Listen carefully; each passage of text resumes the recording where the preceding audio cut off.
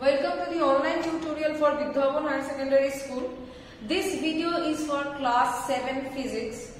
In this video, I will continue with the chapter that I've started with you that is physical quantities and measurement. So in my previous video, I've given you an idea about area, how to find out the area of different irregular objects, given you the formula. You also know how to find out the volume of the regular objects. So these things you know. Now today we will start with how to measure of an area of an irregular object.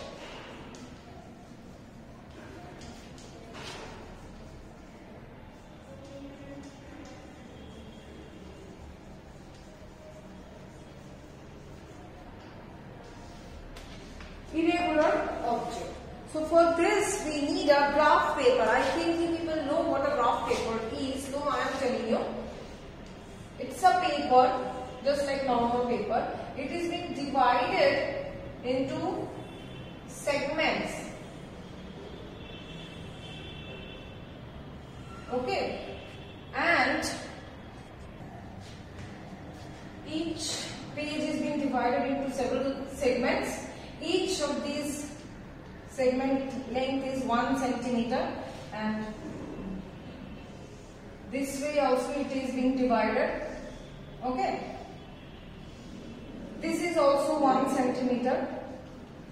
So what will be the area? 1 centimeter into 1 centimeter. That means 1 centimeter square. Now within this 1 centimeter if I will broad this so this 1 centimeter square is having again 10 divisions.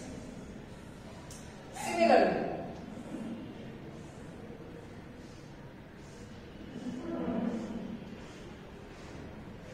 now each of this division is now measure measurement is 1 millimeter on this side also. So the area of this small square is 1 millimeter square. 10 1 millimeter square comprised together to form 1 centimeter square. So this is the graph. So how will you take the measurement of the irregular object? You place it over the graph. Suppose this is the measurement it is. You will take the complete box 1, 2, 3, 4. So 4 complete boxes are there So 4. You will next take half or more than half. So 1, 2, 3, 4, 5. So half or more than half is 5. So 5 plus 4 giving us 9. So the overall area of that irregular object is 9 centimeter square. You can find the area of the irregular object like this by using the graph paper. Now next we will go to the topic of density. You have heard about this density.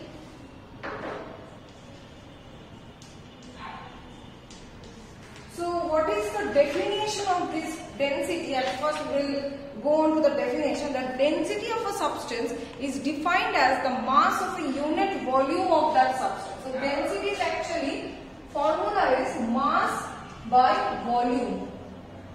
Suppose water. So one unit volume of water we will take. Okay, we will take the volume of one unit of water we will take the mass of one unit of water and then we will put those two values into this uh, formula and we will get the density of the water. So this is the definition of density. Now each body has a certain mass and a definite volume. We know that. Equal masses of different substances have different volumes Equal volumes of different substances have different masses. Okay, experimentally it is being observed. So, at first we will see that equal masses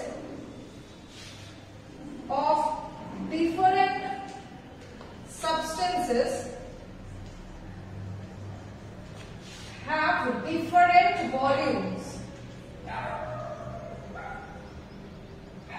That means mass is equal but volume is different. How can we show this? 1 kg of iron compared with 1 kg of sugar. 1 kg of iron and 1 kg of sugar, both of their mass is same. But 1 kg of iron will occupy less space than 1 kg of sugar. 1 kg of sugar will occupy more space. So more space it is occupying means more volume. It is having lesser volume, it is having more volume compared to 1 kg of iron. Now coming to the next thing that is equal volumes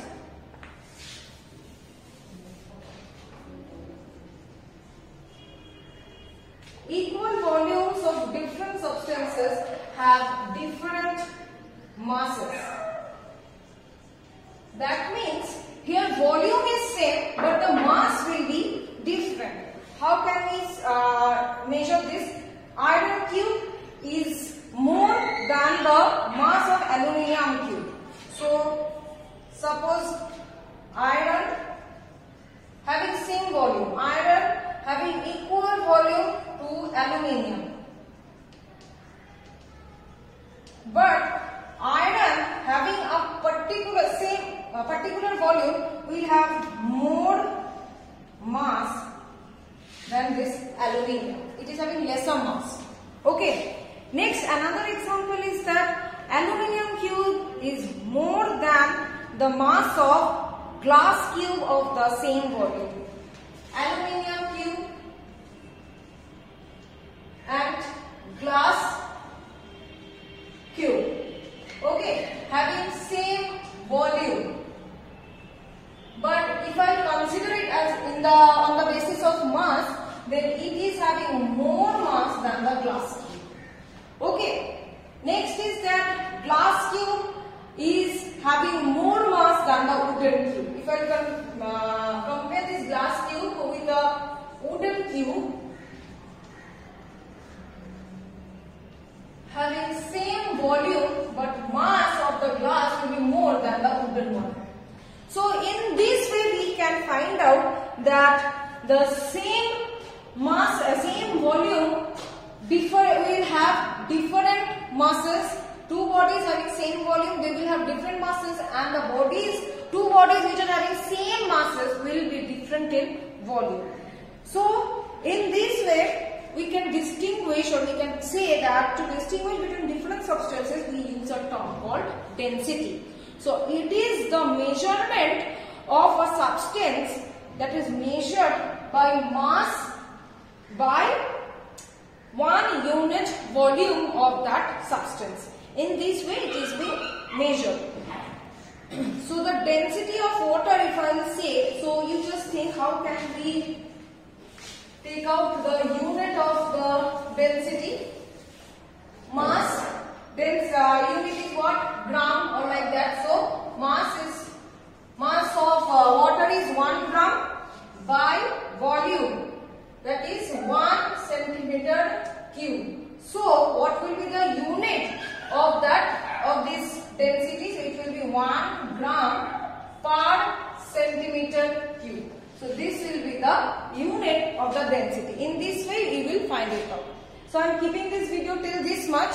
In the next video I will continue with the chapter. Thank you.